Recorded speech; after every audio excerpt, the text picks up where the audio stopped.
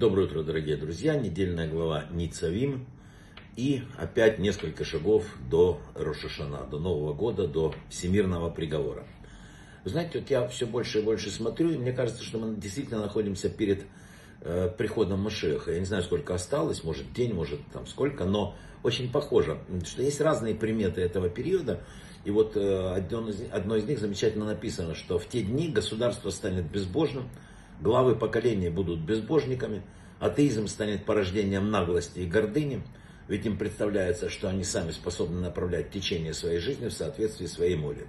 Мудрость знатоков Торы оскуднеет в глазах толпы, сын проклинает отца, дочь восстает против матери. Могу вычитать дальше, очень похоже, даже поколение с лицом собаки. Но тем не менее, еще важнее принимать сегодня настоящее решение, искать причину всего, что происходит. Потому что иногда истина причиняет боль. Однако осознание, признание истины является первым шагом к исцелению. Признание болезни помогает найти лекарство. Если мы не признаем все, что не, не понимаем и не установим, что мы больны, то лечить себя очень тяжело. Признание истины в той или иной ситуации, в которой мы оказываемся, помогает нам выбрать правильный путь, не закрывая глаза, не выдумывая себе ничего. Это очень трудно. Посмотреть в лицо стоящим перед нами проблемами. Но следует помнить, что чем раньше мы признаем, что проблема существует, тем быстрее можем ее решить. Надо сесть просто и понять. Э, каждый год перед э, Рошашана я рассказываю одну и ту же историю. Коротко расскажу ее еще раз, потому что она ну, уникальная для этого. Был один Абраша, скажем так, да, и вот он, э, плохая материальная ситуация, разорился, решил контрабандой поправить свою, свою ситуацию. Договорился с извозчиком, который умеет переходить границу.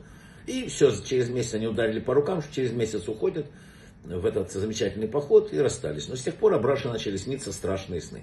Его арестовывают, все. В общем, спит плохо. Извозчик, в отличие от него, совершенно не, не нервничал, что ему переживать. Но за неделю примерно он начал думать, слушай, кто там разберется на границе, что я только извозчик, еще заберут, посадят. И тоже стал спать плохо, ему начались сниться плохие сны, кошмары. У извозчика был помощник, маленький мальчик такой, он сидел на козлах. Он тоже знал, что это все будет, но вообще не переживал. Однако за один день до наступления праздника он тоже подумал, слушай, а может и меня э, там... Но лошадь, она не переживала, потому что лошадь, она лошадь и есть. И вот они, наконец, переходят границу, уже все, 10 метров до границы, раз, и тут выскакивают пограничники. Ну, страшное дело, короче. И уже заплакали все и начали переживать. Единственное, кто лошадь, она, конечно, не переживала, она видит остановка, значит, покормит. О чем эта короткая история? Она длинная такая, я ее рассказал коротко. О том, что есть люди, которые за месяц до Рошашана начинают переживать, нервничать, плохо спать, думать, что, как поправить ситуацию, как прийти к суду хорошими результатами. Э, есть люди, которые за неделю, вот как только начинается уже прямо последняя неделя. Есть те, которые в последний день перед Рошашана только успевают. Но главное не быть лошадью, чтобы не получилось так, что Рошашана прошел, а мы еще не проснулись.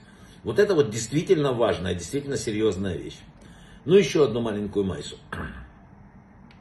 А, вот-вот наступает час, когда Всевышний начинает судить своих творения. И каждый предстанет перед ним в своем виде, без мутайки. Э, вот он видит то, что мы видим, слышим и, и даже думаем. Вот это вот надо понять. Вот, но верша свой суд, э, Творец ждет от нас ответных действий. Ведь мы его создания, они просто обычные подсудимые. Поэтому нам дается шанс изменить себя, изменить мир, изменить свою ситуацию в этом месяце раскаяния. Но надо что-то делать. Вы знаете, жизнь, вот жизнь, духовная жизнь, это не праздность, не равнодушие, не бездеятельность. Для преодоления любых трудностей необходима прежде всего трезвая оценка ситуации. После этого принятие решения, серьезного, правильного, взвешенного, продуманного решения. Эм, короткая притча, которую я обещал рассказать. В одной, э, однажды ночью в одном маленьком городишке прошел сильнейший снегопад. Утром учащиеся ешивы, э, там, пробираясь по пояс, явились в синагогу. Равин собрал их и скажите, что нам надо делать. Первый ученик уверенно говорит, надо молиться, чтобы началась оттепель. Второй говорит, нет, нужно переждать, снег пусть идет, а мы будем учиться. Третий говорит, надо углубиться в Тору, и нам все равно, снег не снег. Рэба сказал, теперь послушайте правильно ответ. Ученики приготовились слушать величайшие мудрости. И вот седой наставник обвел их взглядом и говорит, лопаты в руки и вперед, чистить снег. Понимаете, сегодня вот два шага до Рошашана, надо что-то делать, надо не просто рассуждать там, или даже плакаться. Там. Надо сегодня наметить план, сделать вот это, вот тут помочь, этому улыбнуться. Вот тут я поправлю, я никогда больше не буду делать так. Вот это надо сегодня делать. Лопату в руки и вперед. Брахава от слаха.